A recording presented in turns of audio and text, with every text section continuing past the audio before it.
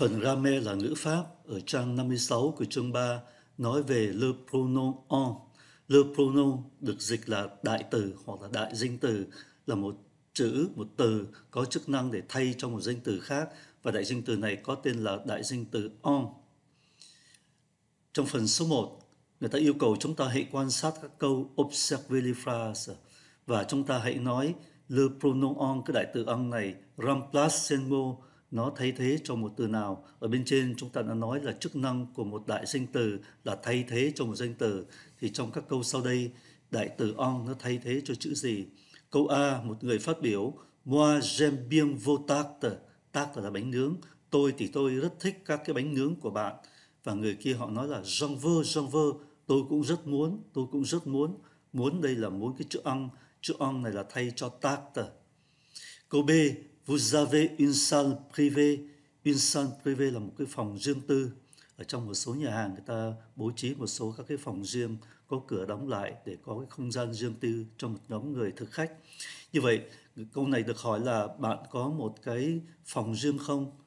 Thì người kia trả lời non, on n'en a pas. Không, chúng tôi không có. Như vậy, on này thì lại thay cho San privé.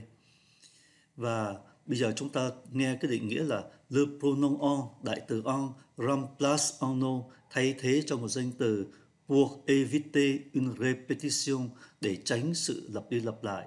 Và trong câu 2 này, người ta yêu cầu chúng ta choisissez la bonne réponse. Các bạn hãy chọn cái đáp án đúng. In surplus, in đây là cái đại từ on, nó được đặt trước hay sau chủ ngữ hoặc là trước động từ Vậy chúng ta thấy ở trong các câu ví, ví, ví dụ bên trên này, đại từ on đứng trước động từ và sau chủ từ. Đứng trước động từ và sau chủ từ. Vậy chúng ta thấy sau chủ từ là đáp án đúng. Nó đứng sau chủ ngữ và đứng trước động từ. Jean mange beaucoup. Chúng ta thấy on đây là đại từ. Nó đứng sau chủ ngữ là je, après le sujet và đứng trước động từ là on nó luôn luôn đứng sau chủ ngữ và đứng trước động từ. Và bây giờ chúng ta hãy coi thêm một phần ngữ pháp về nói về pronoun on. Đây là phần giáo khoa và cho chúng ta thấy hiểu rõ thêm cái cách dùng chữ on. Chúng ta quan sát đây là một cái hình ảnh, hình ảnh đây là hình ảnh mùa đông ở trên một xứ uh, xứ lạnh vào mùa đông thì có nhiều tuyết rơi thì người ta nói là Il y a de la neige partout. Partout là, khắp nơi. Có tuyết khắp nơi.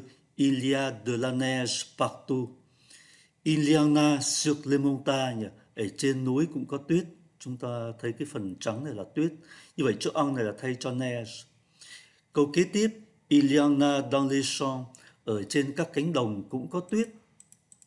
Vậy chúng ta thấy cánh đồng cũng có tuyết. Vậy on này cũng là thay cho tuyết. Ở bên cạnh, il y en a un peu sur les arbres. Ở trên các cái cây cũng có một ít tuyết. Dĩ nhiên là trên các cành lá nó không có thể đậu nhiều. Tuyết nó động lại một phần thôi. Thì người ta nói là un peu. Ở trên các cây cối cũng có tuyết. On này cũng là thay cho chữ neige. Và câu cuối cùng, il y en a beaucoup sur les toits. Còn trên các mái nhà thì có rất nhiều. Mái nhà thì nó có cái mặt phẳng và tuyết nó rơi lại, nó động lại rất là nhiều. Beaucoup cũng có nhiều trên các mái nhà. Như vậy trong các cái câu sau chúng ta thấy on này là thay cho tuyết, thay cho cái câu thay cho cái chữ tuyết mà đã xuất hiện ở câu đầu tiên để tránh sự lặp đi lặp lại. Câu đầu tiên người ta phát biểu là Il y a de la neige partout, khắp nơi có tuyết và các câu sau người ta không lặp lại chữ tuyết nữa mà người ta dùng on. Il y en a sur les montagnes, trên núi cũng có. Il y en a dans les champs, trên các cánh đồng cũng có. Il y en a un peu sur les arbres, trên các cây cối cũng có. Il y en a beaucoup sur les toits, ở trên mái nhà thì có rất nhiều. Như vậy, đại từ o nói chung thay thế cho một danh từ và danh từ này có chữ đờ đi trước và nó đứng trước động từ. Chúng ta coi lại các cái câu bên trên.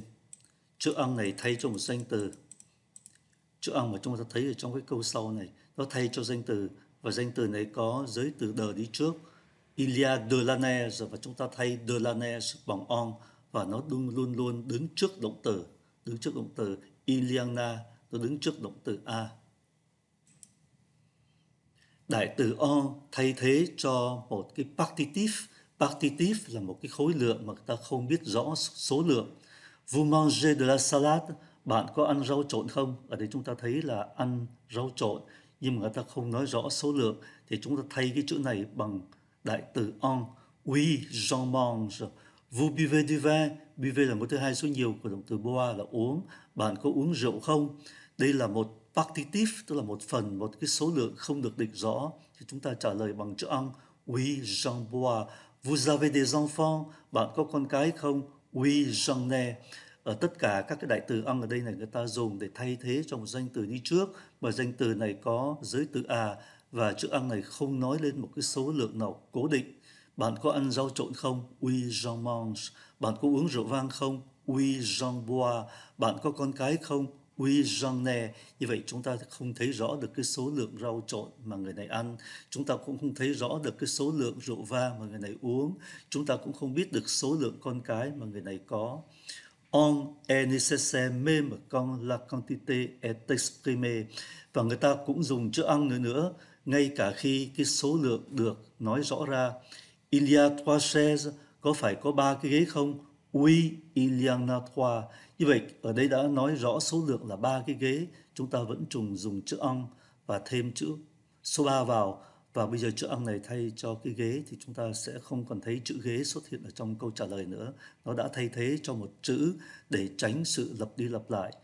Il y a trois chaises, có phải là có ba cái ghế không? Oui, il y en a trois. Il y a beaucoup d'étudiants, có phải là có nhiều học viên không? Oui, il y en a beaucoup, có rất nhiều. Và ở dưới này người ta lưu ý chúng ta một điều. Các bạn hãy nói là il y en a trois, giống như câu trên. Il y en a beaucoup, giống như câu giới Nhưng các bạn đừng có nói il y a trois hoặc là il y a beaucoup và chúng ta phải chèn chữ đại từ on này vào. À, và người ta đã nói là on là một đại từ rất cần thiết ngay cả khi số lượng đã được biểu hiện ra. Ở đây số lượng là ba cái, ở bên dưới số lượng là rất nhiều. Chúng ta vẫn cần thiết phải lập lại đại từ on. Và chúng ta lập lại câu này. Il y a trois chaises. Oui, il y en a trois. Il y a beaucoup d'étudiants. Oui, il y en a beaucoup. Và người ta dùng đại từ ăn ở trong các cái cấu trúc đi với the Phần này có lẽ hơi mới và hơi sớm với đối với một số người mà chúng ta làm quen đi rồi tới khi học các cái phần đại à, động từ này chúng ta sẽ gặp lại cái trường hợp này sau ở đây chúng ta nhắc lại này ở trong các cái cấu trúc đi với đờ thì phải dùng ăn các cái động từ chẳng hạn động từ parler parler de votre travail nói về thì chúng ta thay cái danh từ này bằng on rêver de động từ này đòi hỏi de thì chúng ta cũng thay cái danh từ này bằng on Faire de động từ faire cũng đi với đờ và chúng ta thay cái danh từ này bằng đờ Nhưng mà chúng ta xin nhắc lại các cái động từ mà có các cái cấu trúc các động từ đòi hỏi có đờ thì chúng ta khi không muốn lặp lại cái danh từ này thì chúng ta dùng ăn. Chúng ta lấy cái ví dụ đầu tiên, vous parlez de votre travail. Bạn nói về công việc của bạn phải không? Oui, Jean parle souvent. Và bây giờ chữ ăn này thay cho chữ travail bởi vì đứng trước chữ travail có chữ đờ. Vous rêvez de votre famille, bạn mơ ước về gia đình của bạn phải không? Oui, j'en rêve. Chữ ăn này thay cho danh từ gia đình. Danh từ gia đình đứng trước có chữ đờ. Vous faites de la danse, bạn uh, chơi khiêu vũ phải không? Oui, j'en fais. Đúng rồi, tôi tập khiêu vũ. Như vậy đây là một cái cấu trúc do các cái động từ này đòi hỏi, động từ parler đòi hỏi có đờ là nói về, động từ rêver đòi hỏi phải có giới từ đờ động từ fair cũng đòi hỏi giới từ đờ và người ta nói là à, đối với các cái cấu trúc này này thì người ta thay cái danh từ này bằng on và bây giờ chúng ta hãy làm một số bài tập Faites des phrases avec on selon le modèle. Các bạn hãy làm những câu với đại từ on theo mẫu sau đây. Câu thứ nhất là câu mẫu. Buổi sáng, le matin, vous mangez des céréales. Buổi sáng các bạn ăn ngũ cốc phải không? Oui, j'en mange. On này là thay cho cereal. Bởi vì cereal người ta không muốn lặp lại nữa. Và thay cái chữ này thì đứng trước nó có chữ de đề tức là de lê. Và chúng ta thay bằng đại từ on câu thứ hai cũng như vậy. Vous buvez du thé. Buổi sáng các bạn uh, uống sữa phải không? Thì chúng ta trả lời là đúng rồi buổi sáng chúng tôi tôi uống sữa oui J'en bois.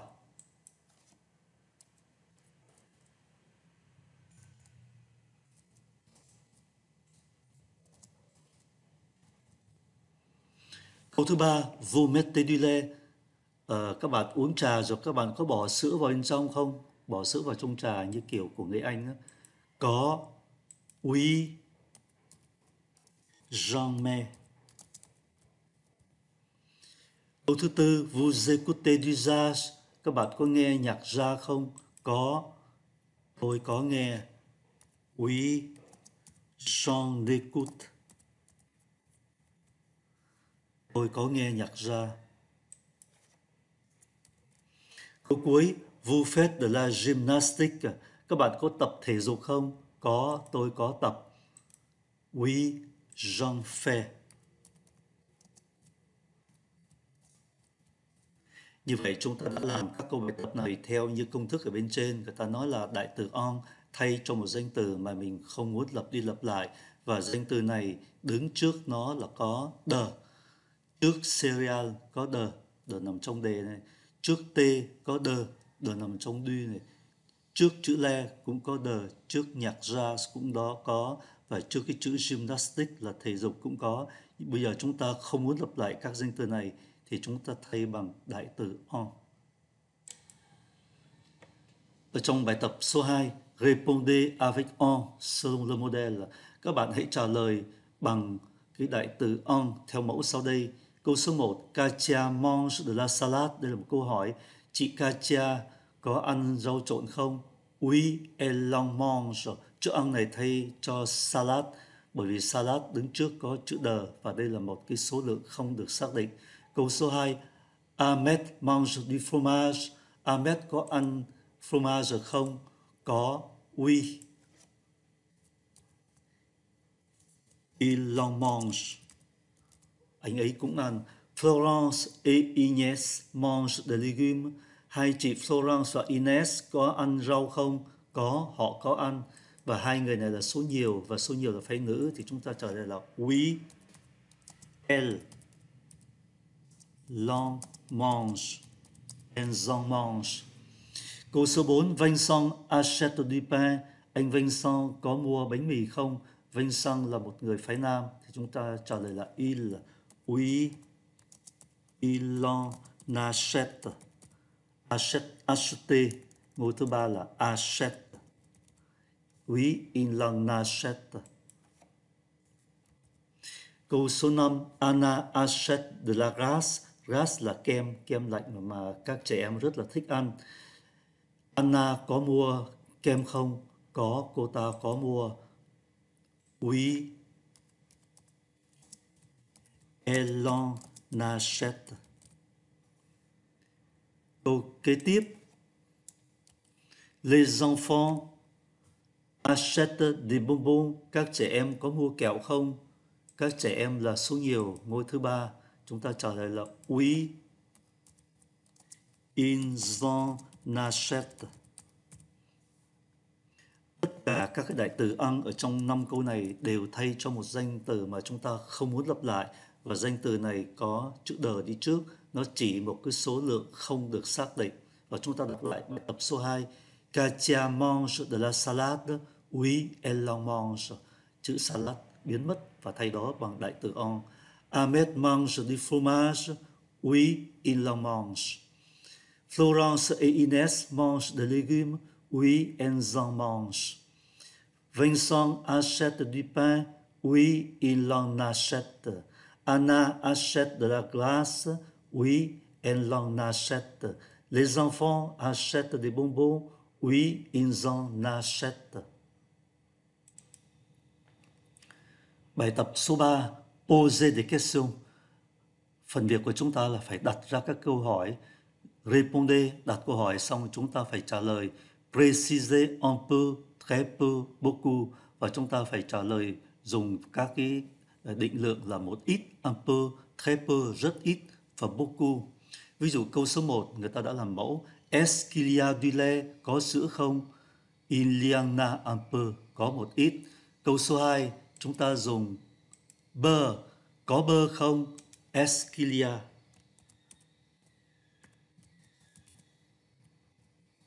Qu'est-ce qu'il y a beurre? Est-ce qu'il y a du beurre? Có một ít. Il y en a un peu.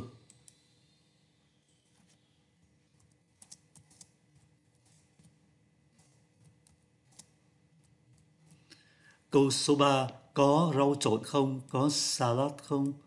Esquilia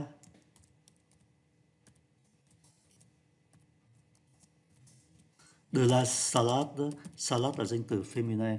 Chúng ta dùng de la salad Chúng ta trả lời là Oui, il y en a. Chúng ta dùng chữ đi. Có rất là nhiều đi. Il y en a beaucoup. Oui, il y en a beaucoup.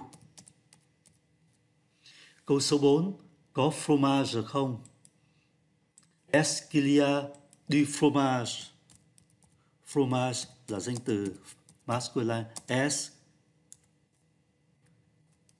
il y a du fromage? Chúng ta trả lời là có rất nhiều đi, thay đổi.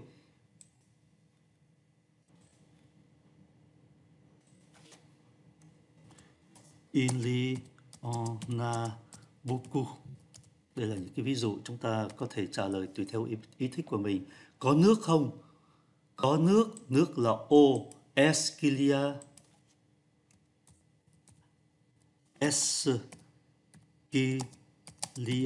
de l'eau? Có nước không? Nước thì thường thường là có nhiều. Il y en a beaucoup.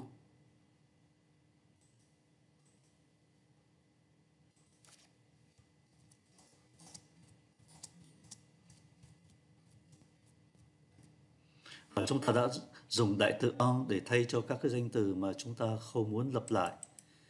Est-ce qu'il y a du beurre? Il y en a un peu. Est-ce qu'il y a de la salade? Il y en a beaucoup. Est-ce qu'il y a du fromage? Il y en a beaucoup.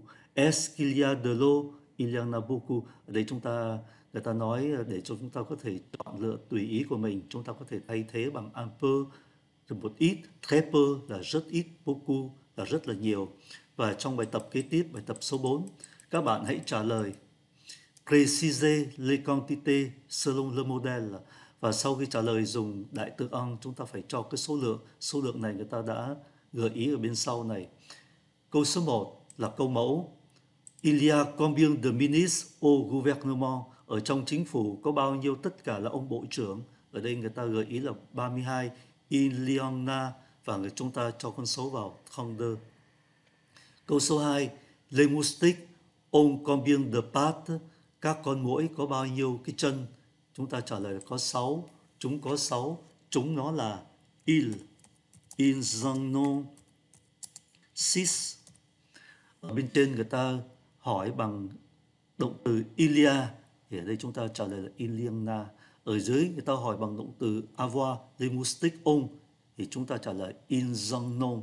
Câu số 3, les chameaux ont combien de bosses? Các con lạc đà có bao nhiêu cái biếu? Con lạc đà nó có cái biếu ở trên lưng của nó. Chúng ta trả lời là chúng nó có hai. In en ont deux.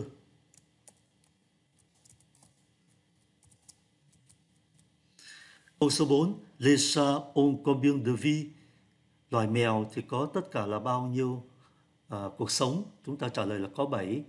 Ils en ont sept.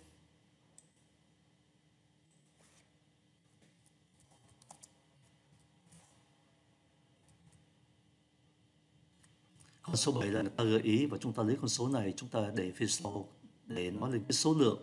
Les Martiens ont combien de doigts? Martiens là các cư dân ở bên sao hỏa. Đây là những con người uh, chúng ta tưởng tượng. Con người trên sao hỏa họ có 12 ngón tay, chúng ta chỉ có 10 và đây là một cái câu, câu nói của khoa học giả tưởng in Zano douze.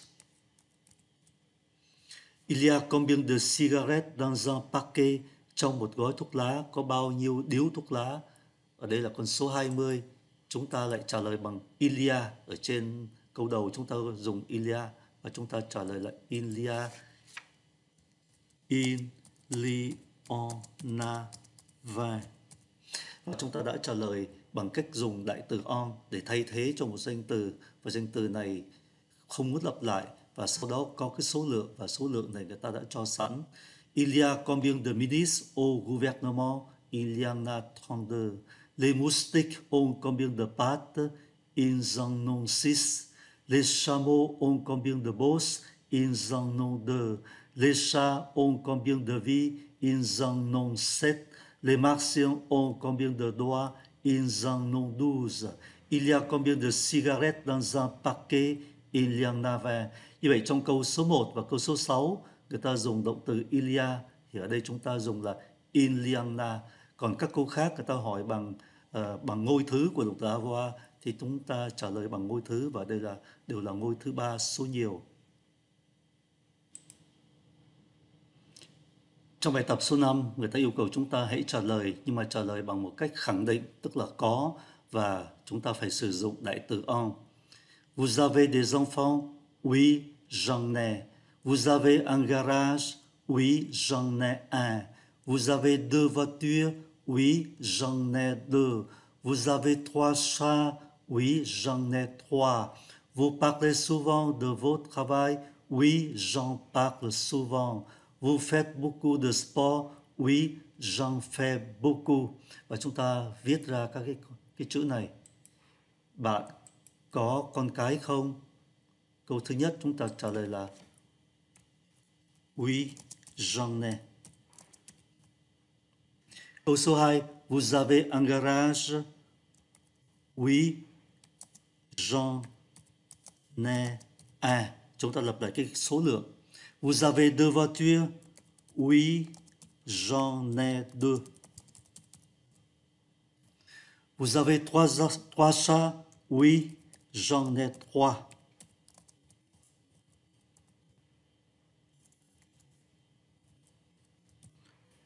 Vous parlez souvent de votre travail? Oui, j'en parle souvent.